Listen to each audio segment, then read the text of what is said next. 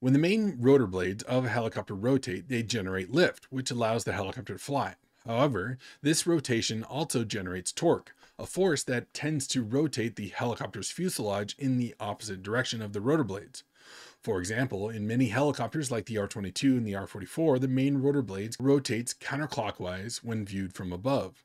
As a result, the fuselage tends to rotate clockwise to the right due to the reactionary force torque. Without a way to counteract this torque, the helicopter would uncontrollably spin in the direction opposite of the main rotor blades, making stable flight impossible. That's why we have the tail rotor. The tail rotor provides the necessary counteracting force to balance the torque generated by the main rotor. It achieves this by producing thrust in the horizontal direction, perpendicular to the main rotor's rotation. So how does this work? The tail rotor consists of a small set of blades mounted on the vertical or near vertical axis at the end of the helicopter's tail boom. These blades spin rapidly, similar to the main rotor, and the angle of their blades, called the pitch, can be adjusted by the pilot using the anti-torque pedals.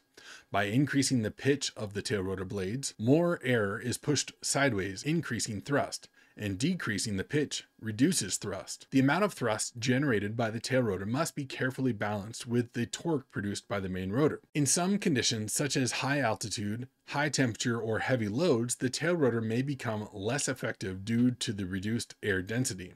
This is why proper power management and awareness of the environmental conditions are critical for safe flight. LTE or loss of tail rotor effectiveness is the hazardous condition where the tail rotor cannot generate enough thrust to counteract the main rotor's torque, often leading to an uncommanded yaw. While the tail rotor is the most common method of counteracting torque, some helicopters use different systems such as the Fenestron, is a ducted fan located in the tail system, providing a quieter, more efficient thrust, or the Notar system, which uses jets of air expelled from the tail rotor boom to create a sideways force that counteracts torque. Proper use of the tail rotor is crucial for maintaining stable flight and ensuring safe maneuverability in various flight conditions. If you're ready to dive deeper into the world of helicopters, check out the free Getting Started helicopter course in the description below. And as always, please feel free to like and subscribe.